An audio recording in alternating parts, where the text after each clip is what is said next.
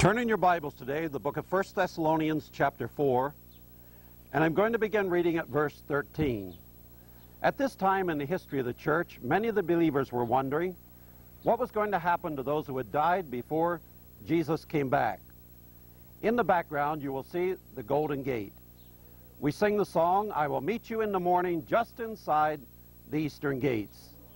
I'm standing on the Mount of Olives, and in between us and the Golden Gate is a Jewish cemetery. Right in front of us is the tombs of the prophets, the tomb of Haggai, Zechariah, and Malachi. Those prophets have wonderful things to say about the future events that are going to take place in history. But today let's read from 1 Thessalonians chapter 4 and verse 13.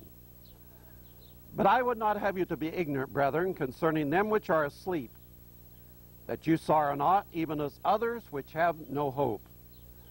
For if we believe that Jesus rose from the dead, even so them also which sleep in Christ will God bring with him.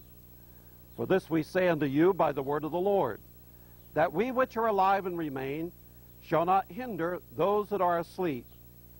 For the Lord himself shall descend from heaven with a shout, with the voice of the archangel, and the trump of God, and the dead in Christ shall rise first. Then we which are alive and remain shall be caught up together with them in the clouds to meet the Lord in the air, and so shall we ever be with the Lord.